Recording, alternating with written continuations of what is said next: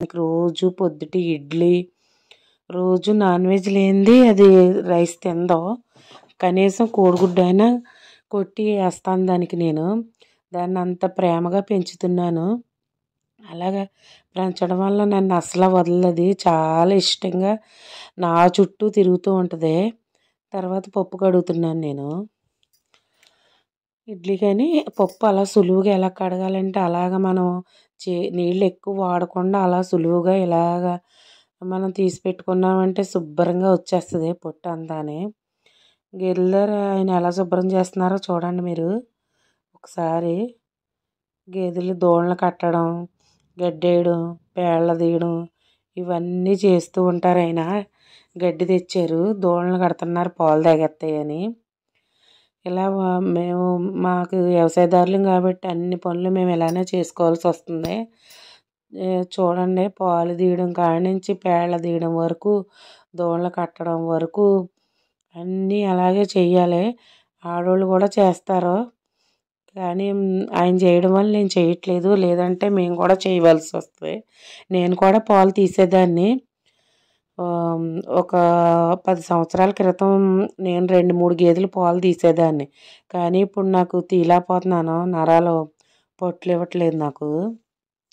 తర్వాత చంటోడికి సాయంత్రం నాలుగు గంటలకే ఓట్స్ ఉడకబెట్టి అంటే పిల్లలకు పెట్టే ఓట్స్ ఉంటుంది ప్రత్యేకంగానే ఆ ఓట్స్ వేపి దాన్ని పౌడర్ చేసి అది కొద్దిగా ఉడికి ఉడికిపోయిన తర్వాత చల్లారిపోయిన తర్వాత ఒక అట్టిపండు వేసి మిక్సీ పట్టి పెడతాం. ఉదయం ఏమో ఓట్స్లో యాపిల్స్ వేసి పెడతాం.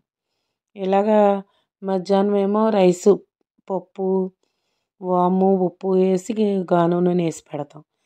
మళ్ళీ సాయంత్రం ఇది పెడతాం. మళ్ళీ నైట్కి మళ్ళీ రైస్ పెడతాం. రోజుకి నాలుగు సార్లు పెడతాం వాడికి. ఇప్పుడు సాయంత్రం నాలుగింటికి ఈ ఓట్స్ ఉడికిన తర్వాత చల్లారిన తర్వాత అందులో ఒక తీసి మిక్సీ పట్టి వేసి అది జావ కింద పెట్టేస్తాం అన్నమాట అలాగా పెట్టడం వల్ల వాడు ఆరోగ్యంగా ఉంటాడో అరటిపండు తింటే పిల్లలు పుష్టిగా ఉంటారో మంచిది కూడానే. యాపిల్ అరటిపండు ఈ రెండే పెడుతున్నాం ప్రస్తుతానికి అయితేని ఇంకా ఎక్కువ పెట్టడానికి అన్నీ అరాయించుకుంటాడు అరాయించుకోలేడని యాపిల్ పెడుతున్నాం. ఉదయం సాయంత్రం అరటిపండు పెడతాం. లేదంటే ఉదయం అరటిపండు పెడితే సాయంత్రం యాపిల్ పెడతాం. అలా మార్చి మార్చి పెడతా ఉంటాం అది ఇది అన్నీని. కానీ పాపం చంటోడు చాలా ఇష్టంగా తింటాడు. వాడు అస్సలు మారం చేయడు. ఏది పెట్టినా చక్కగా తింటాడు అనమాట ఆడు అలా మా తినను ఊయడు అలాంటి మారాలు ఏమీ చేయడు. దానివల్ల ఇష్టంగా తింటాడనమాట. వాళ్ళమ్మ వాళ్ళ అమ్మ తినిపిస్తుంది చూడండి. పాపం మొండగాడు నవ్వుతూ ఉంటాడు ఎప్పుడు. కానీ ఎప్పుడు కూడా తను ఏడవడం ఊసేయడం ఇలాంటివి చేయడు సార్. చక్కగా తింటాడు. అలా తింటేనే కదా మనం పిల్లలకి ఏదైనా పెట్టాలనుకుంటాం. తర్వాత ఫ్రెండ్స్ నేను గడ్డి పరుగులు గిడసలు కలిపి నేను చేపల పులుసు చేశాను. ఈ స్టైల్లో అదిగో చూడండి పరుగులు పరుగుల్లాగా పెద్ద పెద్దవే.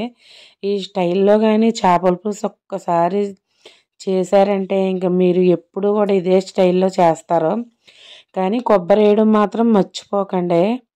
కొబ్బరి ధనియాలు జీలకర్ర అల్లం వెల్లుల్లి. ఇవి కంపల్సరిగా పేస్ట్ చేసుకోవాలి మనం. నేను చూడండి ఎలా పెడతానో కలిపి పులుసు. ఈ పులుసు మూడు రోజులన్నా పాడవదు. నేను ఇప్పుడు ఉప్పు వేసాను. తర్వాత కారం వేస్తున్నాను. ఉప్పు కారం పసుపు ఏంటది? ఉల్లిపాయ పేస్ట్ వేసాను. ఉల్లిపాయ పేస్ట్ తర్వాత మనం కొబ్బరి గసగసాలు అల్లం వెల్లుల్లి ధనియాలు జీలకర్ర. మొత్తం కొబ్బరి వేయడం వల్ల ఈ చేపల పులుసుకు మంచి టేస్ట్. ఇలా ఒక్కసారి ట్రై చేయండి. మీరే చెప్తారు. చాలా బాగుంది లక్ష్మి గారు అని. కామెంట్లో చెప్పండి. మీరు చేసుకుని ఈ పులుసు ఎలా వచ్చిందో. తర్వాత చింతపండు పులుసు తీసి పెట్టుకున్నాను నేను పక్కనే. అంటే మిక్సీలో మసాలా పట్టాను కదా అది ఉంటుంది అనేసి అందులోనే పులుసు పిండుకుని పెట్టుకున్నాను. మొత్తం అన్నీ కలిపి నూనె అన్నీ చేపలకు బాగా పట్టించేయాలి మసాలా ఉల్లిపాయ పేస్ట్ ఉప్పు కారం చింతపండు పులుసు అన్నీ చేత్తో చేపలకు బాగా పట్టించి అందులో నూనె కూడా పోయాలి. నూనె పోసాను క్లిప్ మిస్ అయింది. అప్పుడు స్టవ్ అంటించుకోవాలి. అన్నీ కలిపిన తర్వాత స్టవ్ అంటించాలి మనం. అంటించి ఒక్కసారి కలిపేసుకోవాలి. ఎందుకంటే గరిటతో కలిపినా కూడా ఏం అంటే ఇంకా ఉడుకు పట్టలేదు కాబట్టి స్టార్టింగ్లో ఉంది కాబట్టి. మనం అన్నీ కలిపిన తర్వాత మసాలాలు అన్నీ బాగా పట్టిన తర్వాత నాకు కొంచెం కారం సరిపోలేనట్టు అనిపించింది. ఇంకో కొంచెం కారం వేసుకున్నాను నేను. ఇవన్నీ కూడా పక్కన పెట్టి ఇలాగ చేసి మనం మూత పెట్టేసి నూనె తేరి వరకు ఉడకబెట్టాలి.